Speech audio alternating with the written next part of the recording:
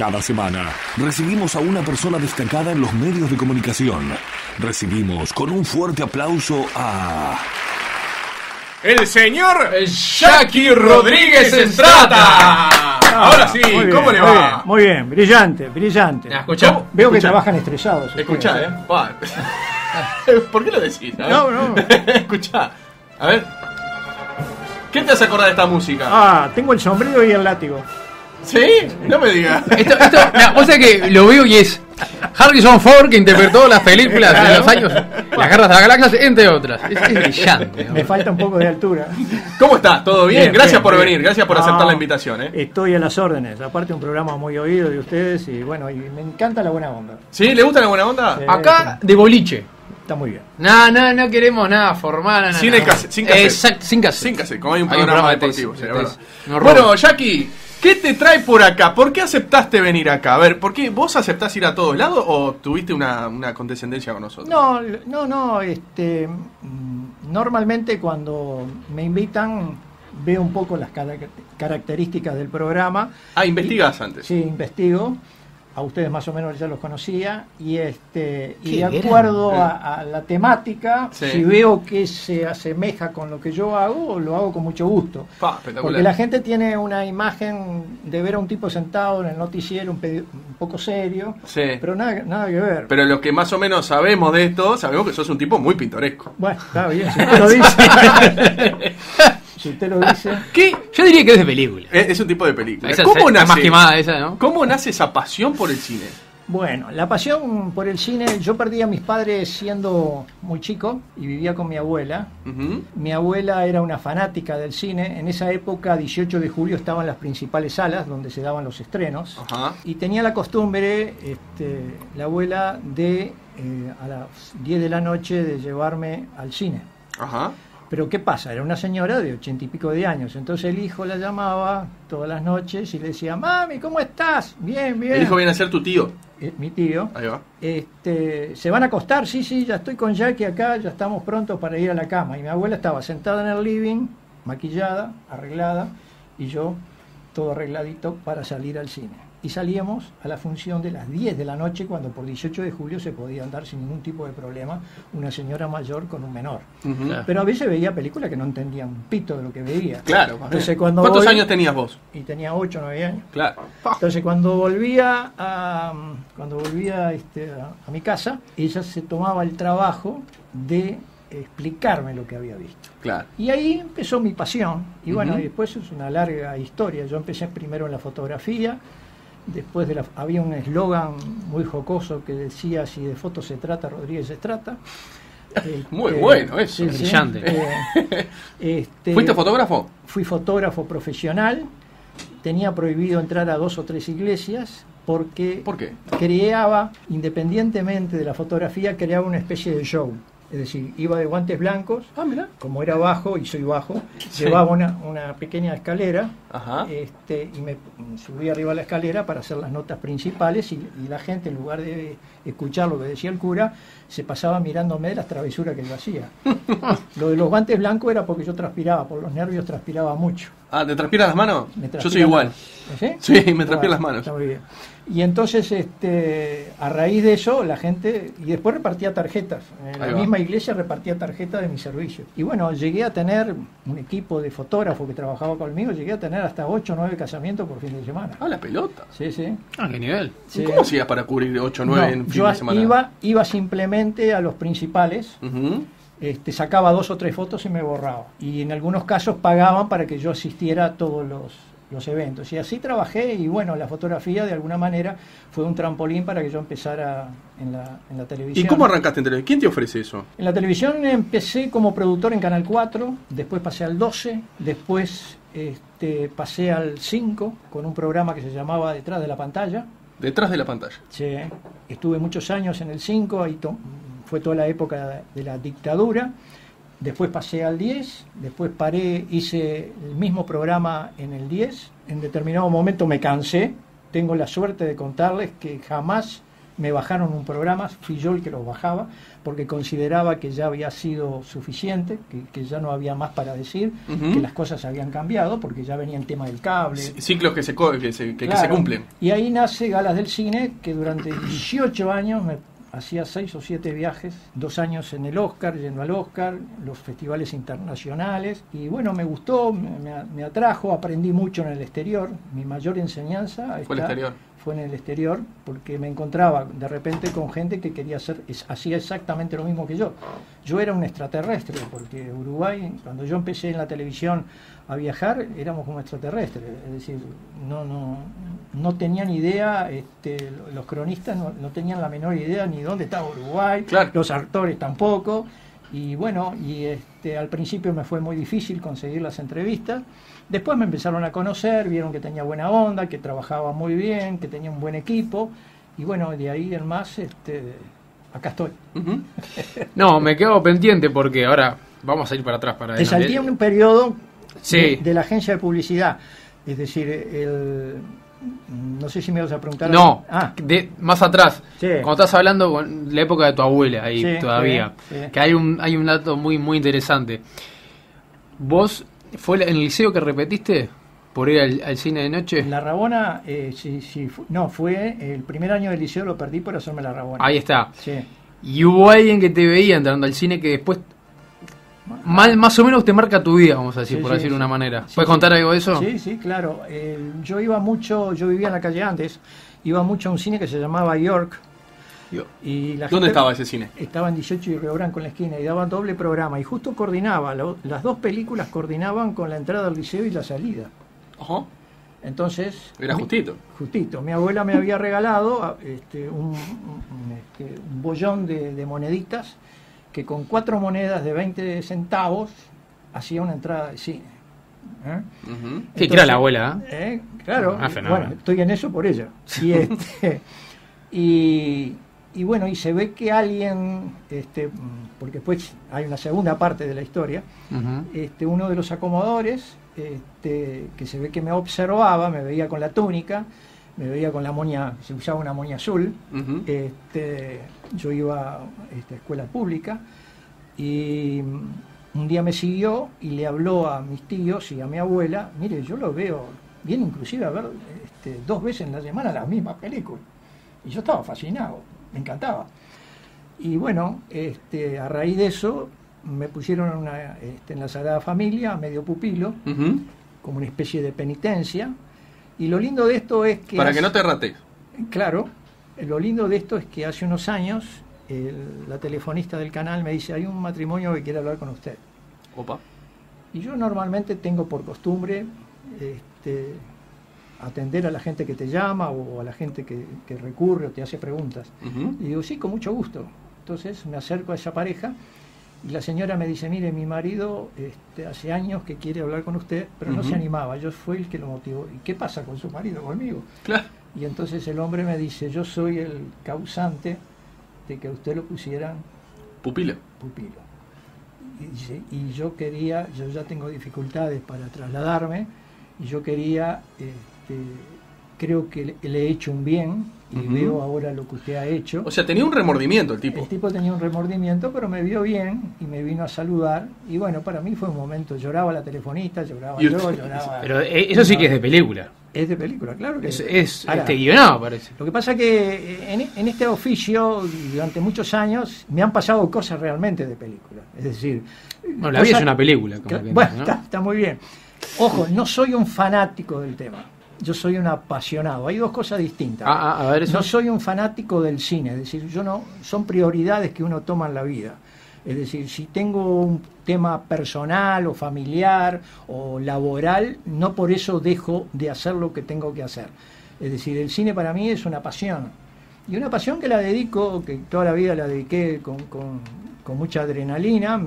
He hecho experiencias que jamás eh, este, pensé que podía llegar a lograr. Claro. Este, y la agencia de publicidad, porque hace unos años, eh, unos años 70 y pico, más que unos años, ¿no? Sí. Sí, claro. Este, hubo una convocatoria, las compañías americanas buscaban una agencia de publicidad que los representara en el Uruguay, cuando los cines sobre todo la sala del cine Metro pertenecía a, compañía, pertenecía a una compañía americana. Ajá. Entonces llamaron una licitación y se presentaron las principales agencias de- en ese momento de, de Uruguay. Y yo también me presenté y dije, yo, yo no soy agencia, pero me voy a presentar. Y el proyecto era desarrollar una promoción con una película que me acuerdo que era El Gran Gatsby, con Robert Redford Ujú. Mia Farrow, la primera versión. Y la gané. Y yo no podía creer que había ganado una concesión para formar una agencia. Y yo, y- y yo le digo, pero yo no tengo la menor idea de cómo se hace una Claro. agencia de publicidad, no tenía ninguna experiencia. Claro. Entonces este, me educaron, me mandaron a Barcelona, este, hice unos cursos, después me mandaron a Río, donde estaba el supervisor de la compañía. Esa compañía era Cinema International Corporation, que abarcaba Disney, Paramount, Universal, abarcaba varios sellos, y aparte era propietaria en ese entonces de la sala del Cinemetro. Y ahí este, logré hacer pila de promociones, después agarré la época de la dictadura, que fue muy difícil, por, por algunas promociones que hice, algunas locuras mías, como traer el traje de King Kong y pasarlo y pasearlo por 18 de julio. Este, eh, sí, Qué grande. No, pero, eh, no saben la segunda parte. A ver, contala. El traje medía como 5 metros, era grande. Sí. Entonces se necesitaba un actor de determinada este, determinado físico para sostener solo la cabeza, que medía un metro y pico. Y en ese, en ese momento un- una compañía de refresco me, me facilitó un coche, en ese momento se usaban los parlantes y yo había grabado una banda sonora con el ruido de las cadenas de, de, este, de King Kong arriba del, del camión. Arriba del camión. Claro, y teníamos la autorización de pasarlo, de pasearlo por 18 de julio hasta Río Negro, nada más. Desde do- hasta Río Negro, pero ¿desde dónde? Desde el, desde el obelisco hasta Río Negro. Ah, bastante. Sí, sí, sí, sí. Este, muy bien, todo muy bien. Y yo dije, esto es muy aburrido. y el día del estreno se me ocurre que King Kong se suelta y salta a, a la calle, ¿no? Y empieza a gritar, ¿no? Este, a- bueno. ¿no? Este, con los gritos de la gente, todo grabado, ¿no? Lo que no calculé fueron los riesgos y los accidentes que ocurrieron a raíz de mi locura galopante, No. claro, porque los que venían, era doble vía también, los que venían de un lado chocaron, ¿eh? y los que venían de este lado chocaron también, y este, bueno, terminé con, la compañía terminó con una multa por alterar el orden y yo también... ¿Y este, ustedes no tenían permiso? Sí. Teníamos permiso, pero no alterar el orden Claro. como lo habíamos provocado. ¿no? Este, Un subversivo. y aparte después salí en primera página de los diarios. este, y bueno, y como esos hay varios ejemplos. Y la locura, contame la locura cuando caíste en cana por el tema de los ataúdes. Bueno, acá está informado el hombre. ¿eh? No, no, no, Ah, eh. Ladri, sos- No me tienes encantó, vergüenza. te juro que me no encantó, me encantó. Pero la tiene que contar al aire. No, aire. no, bueno, aparte es muy cierto y posiblemente algún escucha que estuvo relacionado en ese momento se acuerde. ¿Por qué no? Viene una película, trabajaba Fran Langella, era una nueva versión de Drácula. Ah, ¿Está? Este, y a mí se me ocurre, en ese momento como agencia de publicidad, hacerlo, eh, como era en verano, hacer el lanzamiento en Casa Pueblo. Entonces hablamos con Carlitos Páez en ese entonces, le Ah. encantó la idea de hacer una función al aire libre con efectos especiales, Ah, espectacular. ¿no? Sí, pero le pedíamos al público que fuera disfrazado. Mirá. Entonces, ese era el precio, vamos a decir, fundamental para poder entrar. Este, y yo dije, bueno, pero vamos a crear un clima similar a la película. Entonces Qué me grande. fui a Rogelio Martinelli. ¿no? sí. Este, y pedí unos ataúdes. Hasta hace unos años estaban las fotos abajo de los vídeos. Mirá. Sí. Pedí unos ataúdes viejos, me los dieron después de que tuve que explicar lo que quería hacer, y me dieron 10 ataúdes y los, lleva- los llevamos a Punta del Este y ahí se iba a servir este, una sangría. No, me tajo. Sí, sí. La sangría era un, un, este, un líquido rojo de una conocida firma que también Sí. se, se apo- apoyó el proyecto y, y allí pasamos la película. Pero ¿qué pasó? No teníamos previsto. Ah, faltaban, teníamos como, como, vamos a decir, como efecto especial unos vampiritos que había traído Carlito Roth, que era un empresario teatral, que justo en esa época paralelamente se estaba dando la obra de teatro en el Sala Verdi, y yo le, le- le alquilé los, los, este, los vampiros, tenía como 20 vampiros que había traído de, de Estados Unidos, me dijo, Jackie, por favor, cuídamelos porque esto me salió un dineral, Claro. bueno, tuve que pagarle todo porque no me, no me quedó ninguno. Y este, y bueno, y, y se prendían los ojitos, ¿viste? Sí. y le pusimos unas redes. ¿eh? En esa época trabajaba en la parte de efectos especiales, hoy un conocido empresario que es Alfredito Llegaray. Este, pusimos las redes de, de cable y, y en un determinado momento empezaron unas tormentas brutales, Era Stephen King. más o menos. Impresionante Y la producción. este, yo dije, esto vamos a ver si termina la película. Y Alfredo me dice, vamos a tirar los vampiros, vamos a apurar el tema. Y tiramos los vampiros, la gente empezó a saltar, a agarrarse los vampiros como recuerdo y se empezó a levantar para irse porque empezó a llover.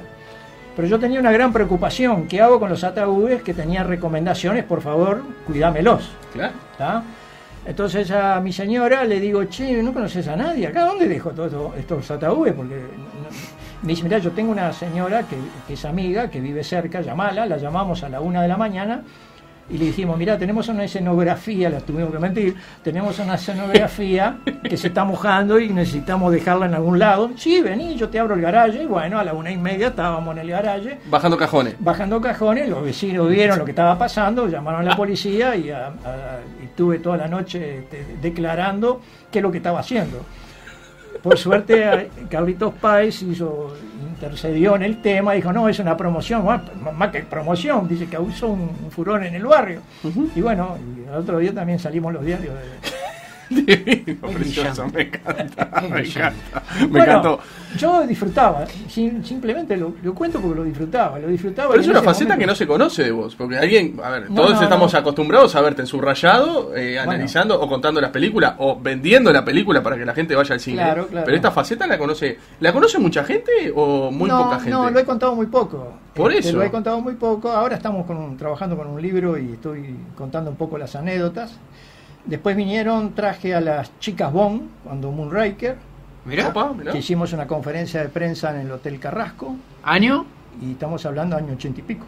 Opa. Este, que en ese momento traer a las chicas Sí, claro. era todo, un, todo un, acontecimiento.